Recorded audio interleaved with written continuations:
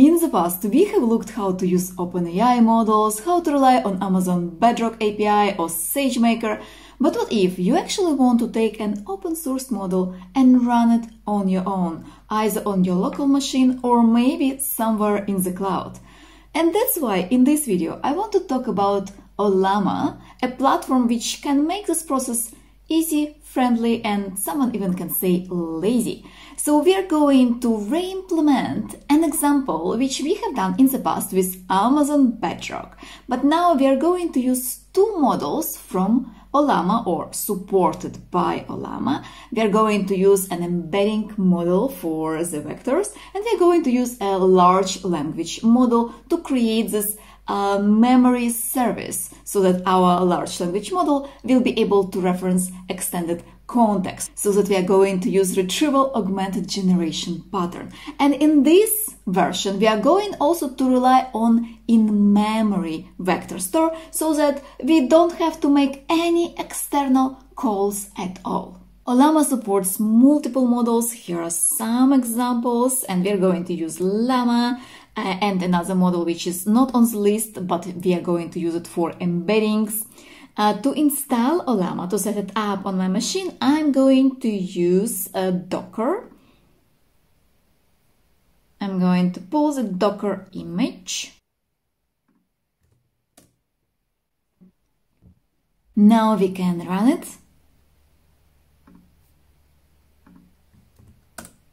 And now we can start the models. So there is an example of Llama 3 over here. We can just copy and run that one. This started the model and now we can ask different questions. I don't know, what is the distance between Earth and Moon? Let's see what will reply. Okay, good. It answers us, so it works. Uh, we will very politely say uh, bye and we'll add another model this one for the embeddings and there are a variety of models which we can use. We are going to use this Nomic embed text. Uh, I do believe that actually it's been installed. I already had it installed before, so it indeed doesn't support chat but it also didn't download any files like it did when I ran it for the first time. So for you, it will show a bit different uh, process because it will load and pull everything uh, from the Docker uh, hub.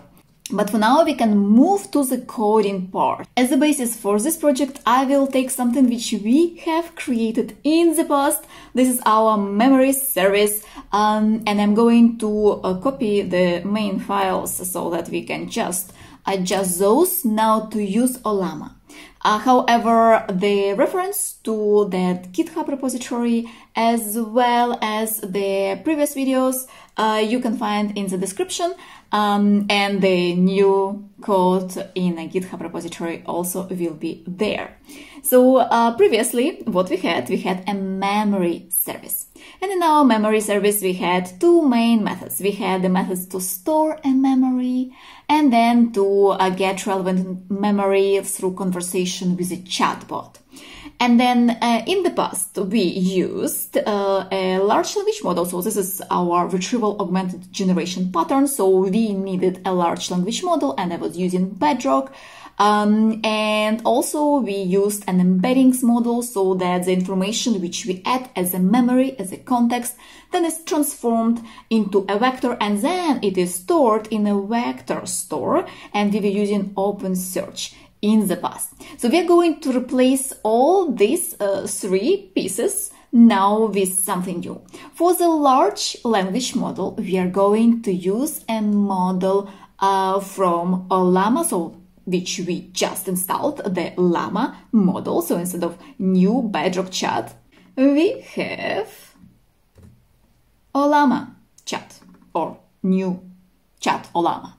Uh, and here we specify which model we want to use, uh, the temperature and other parameters which you want to have. I just took the default, well not default ones, but those which I found in the documentation, uh, but you can add here more stuff. Then for the embeddings model, uh, similarly, we'll use the Ollama model, the nomic embed text, which we have installed just recently.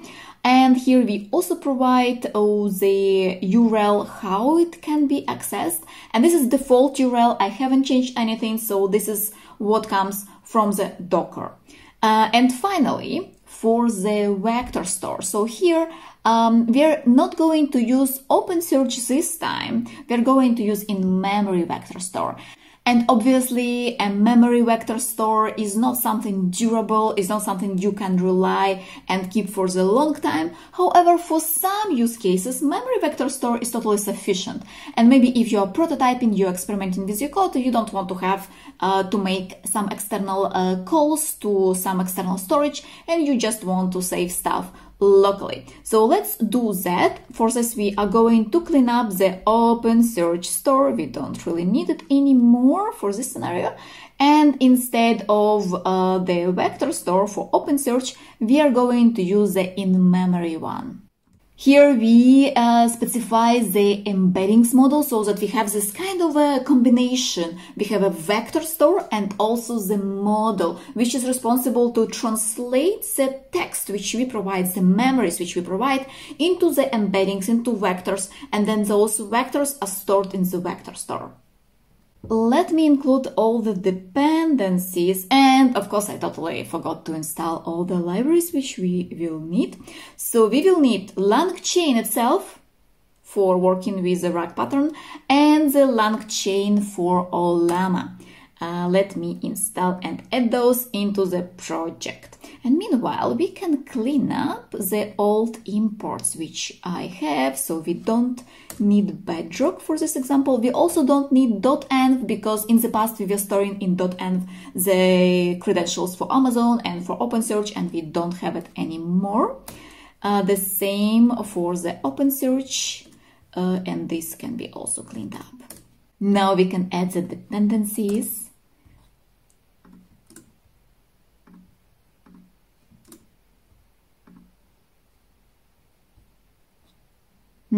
I believe we don't need this dist, otherwise it will give us an exception.